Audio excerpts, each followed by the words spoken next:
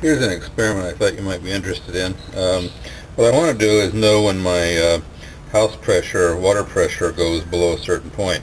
So what I've done is I've attached this apparatus, which I'll go over in a second, over to the faucet in the house. When I turn on the faucet, the hose is pressurized and this switch, which I got off of a, a water purifier, a rather cheap thing, it's only a couple bucks.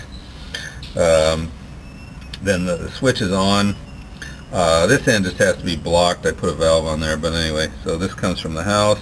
This is just uh, blocked off. You could put a brass cap on there if you wanted. And then the switch goes over to uh, a little toy uh, ringer that I got out of an uh, old alarm clock and then a couple batteries and that's it then it comes back to the switch and when I come over here and for example simulate the water going off.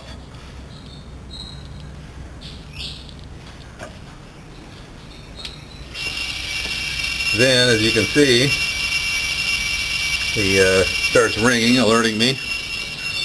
And when I add pressure back